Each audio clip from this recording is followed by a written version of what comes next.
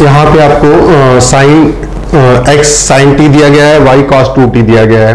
तो ये कर्व की क्या है? पैरामेट्रिक फॉर्म बोली जाती है। क्यों पैरामेट्रिक फॉर्म बोली जाती है? क्योंकि अगर कर्व पे कोई भी पॉइंट लेते हो आप पिकअप करते हो से पी और x कॉमा वाई इसका कोऑर्डिनेट है तो x और y दोनों को ही ये जो t है, ये कंट्रोल कर रहा है। तो दैट इज़ अ पैरामीटर जो यही पैरामीटर डिसाइड कर रहा है कि x कोऑर्डिनेट कितना होगा और साथ में y कोऑर्डिनेट कितना होगा तो that is a parametric form ठीक है? तो ये तो बात रही कर्व की। अब हम बात करते हैं डिफ्रेंसिएशन की D Y by D X but X क्या आपका है? t का फ़ंक्शन है तो साइन t है। तो हम इसको क्या करेंगे? Differentiating with respect to differentiating with respect to t कितना हो जाएगा? d by D T of X that is equal to D by D T of sine T ठीक है?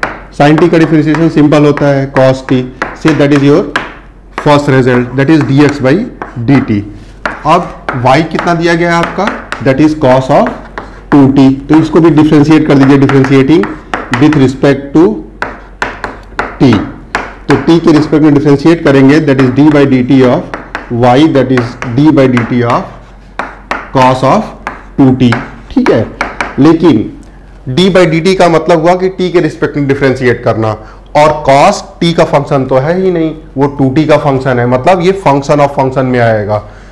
ठीक है? तो जैसे आप देखिए, t आप जब वैल्यू कोई डालोगे तो पहले उसका 2t निकलेगा। दैट इज़ अ फ़ंक्शन ठीक है? उसके बाद उसके ऊपर cos ऑपरेट होगा। इसका मतलब कि यहाँ जो चेन है, दो चेन की फ़ंक्शन है। सबसे आउटर चेन का सबसे आउटर जो फ़ंक्शन है वो कॉस है। उसके बाद आपका क्या है? टू है। इसका मतलब पहले कॉस डिफ्रेंशिएट होगा टू के रिस्पेक्ट में और टू डिफ्रेंशिएट होगा टी के रिस्पेक्ट में। मतलब सिंपल कॉस को आप डिफ्रेंशिएट कर दीजिए। नाउ डीवाई बाई डी क्या हो जाएगा आपका? कॉस uh, का डिफ्रेंशिएशन माइनस साइन होगा। ठीक है? माइनस साइन और इसके अंदर जो भी है साइन टी नहीं लिखेंगे। कॉस के अंदर जो भी है वही लिखेंगे आप। ठीक है? तो यहाँ पे टू टी है तो टू टी फिर किसको डिफ्रेंशिएट करेंगे? D by D T of two T को। और टू टी का डिफ्रेंशिएशन कितना आ जाएगा आपका? टू आ जाएगा फिर टी का वन हो जाएगा।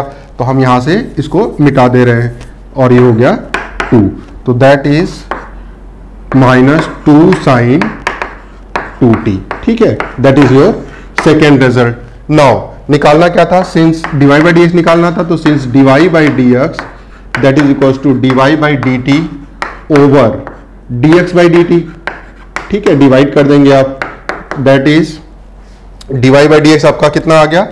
माइनस का two sine two T over cos of T तो डिफ्रेंसिएशन तो हो गया लेकिन क्या हम यही छोड़ दें?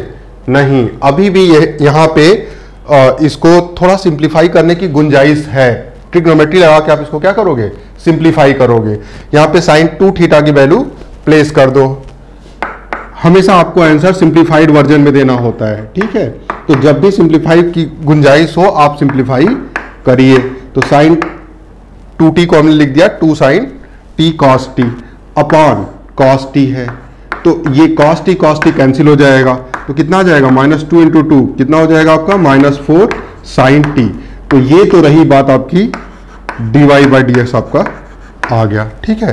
तो दैट इज़ योर आंसर